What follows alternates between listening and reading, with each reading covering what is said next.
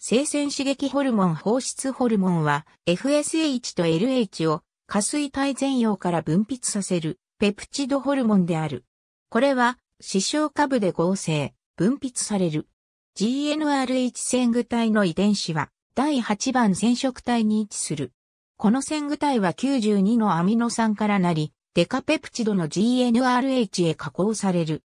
GNRH の姿は1977年、ノーベル賞受賞者のロジェ・ギルマンとアンドリュー・ウィクター、シャリーにより次のように明らかにされた、ピログルヒズ TRP セールティールグリラウ、アーグプロ、グリコンに GNRH は特定の神経細胞で産生され、その神経末端から放出される神経ホルモンと考えられている。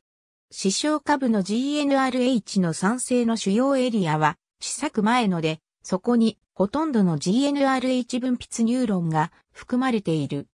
GNRH は成中流器の高さで門脈血流へ分泌され、生鮮刺激ホルモン産生細胞の膜上にある受容体を活性化させる。GNRH はタンパク質分解によって数分のうちに分解される。下水体では GNRH は FSH と LH の合成と分泌を刺激し、その過程は GNRH パルスの頻度と強さ、それからアンドロゲンとエストロゲンのフィードバックである。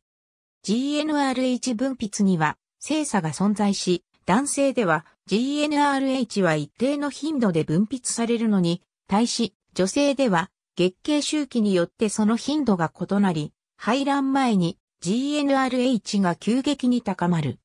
GNRH の白動性は、すべての脊椎動物において見られ、正しい生殖機能を確実にするのに不可欠である。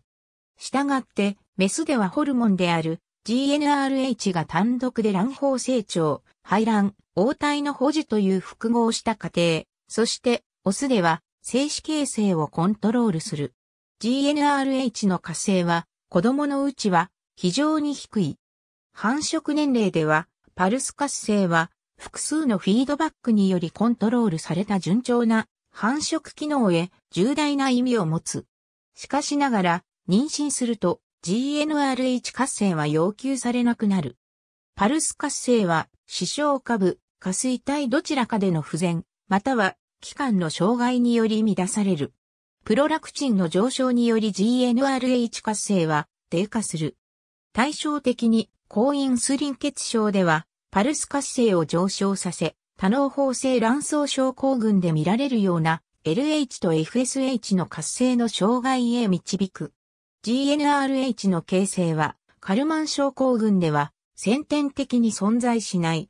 ドーパミンは GNRH 活性を低下させるらしい。GNRH は視床下部と下水体以外の例えば胎盤や生鮮にも見られ、そこでの役割はよくわかっていない。GNRH はゴナドレリン塩酸塩として注射して使われる。